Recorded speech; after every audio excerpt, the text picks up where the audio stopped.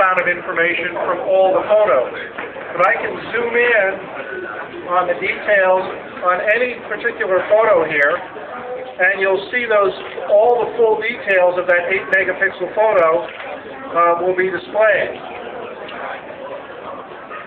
那么它现在所展示的话，就是说它展示它的压缩，它是一个等于说行进式的压缩，也就是说呢， 它的压缩的功能比 JPEG 要好两倍。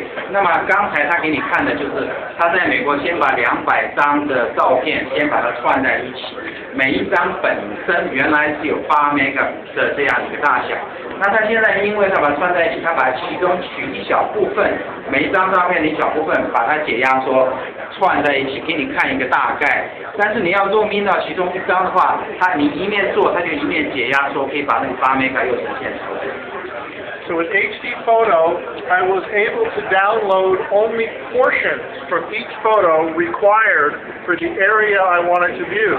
With JPEG photos, I would have no choice but to download the entire 8 megapixel image to decode it and then crop it and scale it to fit the screen.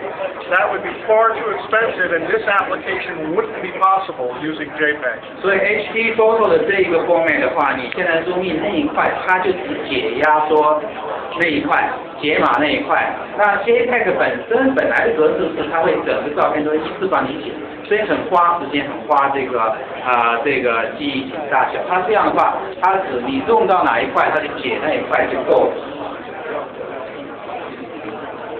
So this is an example of a new type of web application that's coming from Microsoft and from other companies that are all enabled because of the power of HD Photo.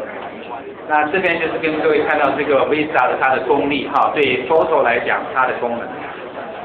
Thank you, Bill. That's great. And, and once again, the key